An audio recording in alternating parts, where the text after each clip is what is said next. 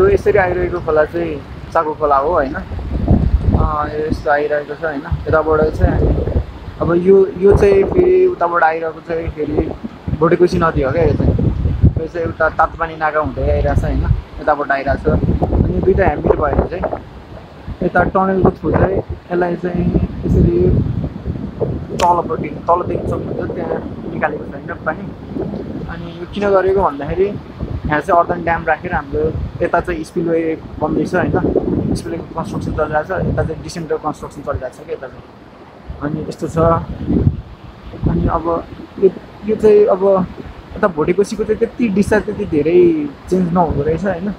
तर यो छ नि यो चाकु खोला यो चाकु खोलाको चाहिँ एकदम डिस्चार्ज चाहिँ एकदम हाइली चेन्ज भइरहेको रहेछ क्या पानी पर्ने बित्तिकै यो ठाडो खोला कारणले यसको डिस्चार्ज चाहिँ एकदम बढ्न जाँदो रहेछ होइन? त्यस कारण चाहिँ यो अदन ड्यामको चाहिँ कुनै कामै हुँदो रहेनछ क्या।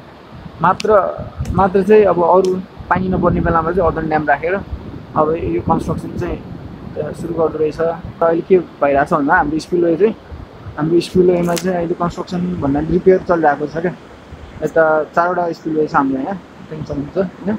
अब स्पिलवे पनि यहाँ के भएर रहेछ भन्दा दुइटा दुइटा दुइटा कुनापट्टि अथवा छेउपट्टिको चाहिँ कुना र छेउपट्टिको चाहिँ बढी ड्यामेज भएको रहेछ होइन त्यही भएर चाहिँ अब गर्दैछौँ अब अलिकति पानी पर्ने बित्तिकै अलिकति ड्याम भत्किन सक्यौँ भनेर अलिकति हाई रिक्स छ होइन त्यही भएर एकजना चाहिँ बस्नुपर्ने हुँदो रहेछ यहाँ र अहिले हाम्रो त्यस्तो त्यस्तो रिस्की त छैन अहिले तत्काललाई चाहिँ तर काम चाहिँ चलिरहेको छ तल